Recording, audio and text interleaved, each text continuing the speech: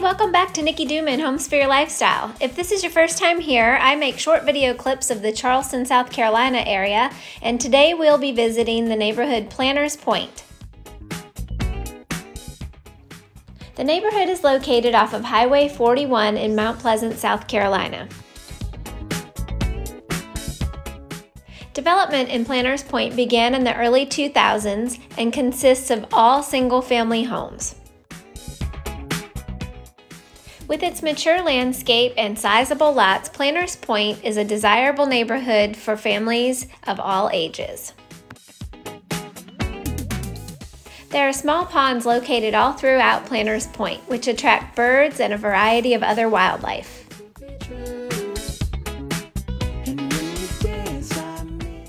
The majority of the homes in Planter's Pointe were track built homes, but they've all taken on their own look and style over the years.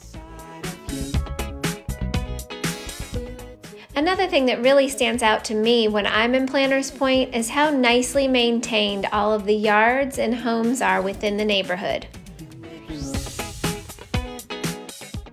The different sections of Planter's Pointe are all connected through a series of walking trails. They took great effort in placing these sections of homes within the mature trees.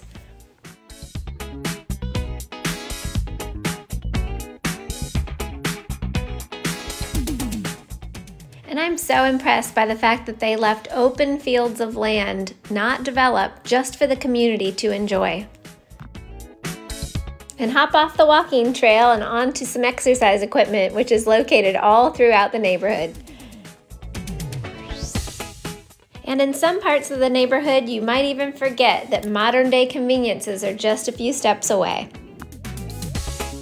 Another section of Planter's Pointe is actually located at the front of the neighborhood called Rivertown. Some of these homes are actually located on the marsh.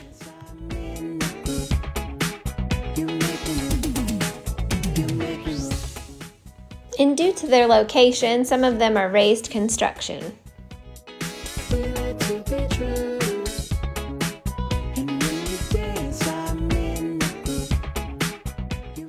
And some of them just make you want to smile.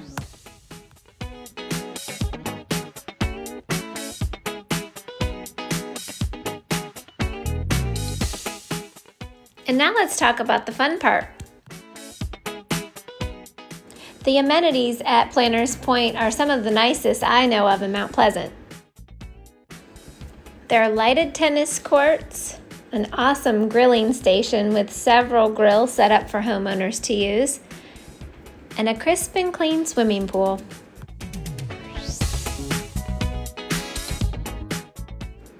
Bocce ball and food trucks sounds like a fun place to me.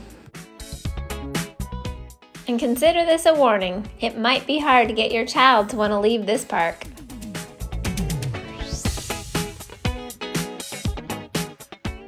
On top of those great amenities, check out the convenience of having the Lowe's Grocery Shopping Center just right outside of the neighborhood entrance.